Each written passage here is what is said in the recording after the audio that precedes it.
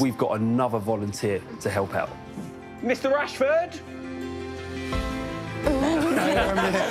Okay? Look at this. That's Marcus Rashford. What you do with Emmie's Kitchen is actually really close to Marcus's heart as well, and you know, giving food to people and helping people eat. The two boys have got you a little present, a little gift underneath there. There we go. There you go. That is all yours, Emmie.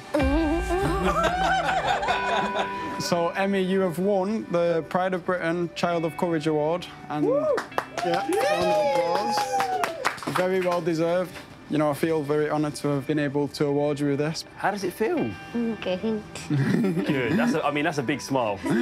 I was really shocked when Marcus came in and gave me an award. I can't really believe everything's happening, and I still think I'm in a dream. So, Marcus, when you hear about people like Emmie, why does that resonate with you? She's 11 years old and she's thinking about, you know, helping other people, despite the fact that she's going through things herself in her life. So if we get the whole of a generation acting and behaving the way that she behaves, then the future of everyone's communities is going to be much better than the one that I grew up in. I'm very, very happy to be here.